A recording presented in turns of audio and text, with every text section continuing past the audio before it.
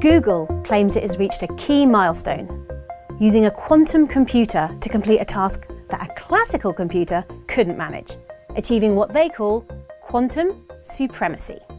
This would be the first time that a quantum computer has definitively beaten the best conventional computer. But it's something that physicists have been trying to do for years. Although not everyone is convinced that a normal computer would find this particular task impossible, it certainly seems like the quantum processor solves it faster. The task is a calculation that is not very useful. It was designed just to demonstrate quantum supremacy and was made to be especially difficult for normal computers to handle. Google's quantum computer is called Sycamore. It has just 53 qubits, quantum versions of the bits that encode information in a computer. These behave completely differently to regular bits and very hard to manipulate.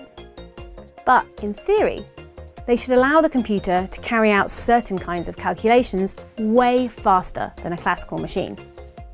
The calculation in this test was to figure out the probability distribution of all the possible outcomes from a quantum random number generator.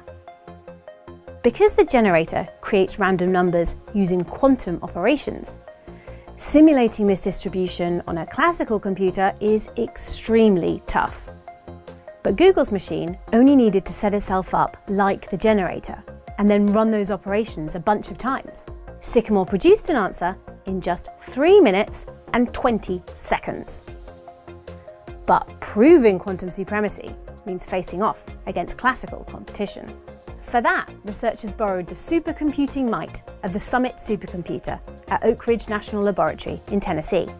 By breaking up the problem into smaller chunks and then extrapolating, they estimate that Summit would take 10,000 years to finish the same calculation. If true, this means that a quantum computer can do something that is, in practice, impossible on a classical machine. Quantum supremacy. But not everyone agrees. IBM has released a paper claiming that the Summit supercomputer could actually complete the task in just two and a half days by using a slightly different technique. Scientists will now scrutinise both camps' calculations. But even if IBM is right, it's still significant that Sycamore was so much faster than the supercomputer.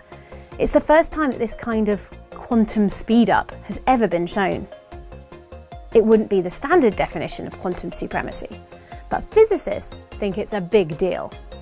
And although we're still decades from harnessing the full potential of quantum computers, and maybe years from doing anything particularly useful at all, this achievement tells us that quantum computing is edging ever closer to those goals.